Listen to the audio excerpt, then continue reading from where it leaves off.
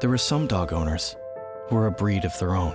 The bond between them and their dogs accounts for countless amount of time and training, grooming, practicing to be something great, to be more than what dog and man are separately, to come on stage and be proud in their discipline, love, dedication, to be something more, to be in perfect harmony and agility with their best friend.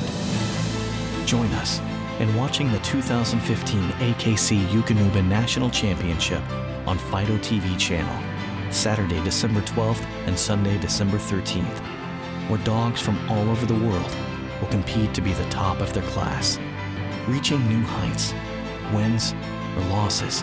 They never stray from being their best because of their love for their dog. They will show the world what they already know that they are one.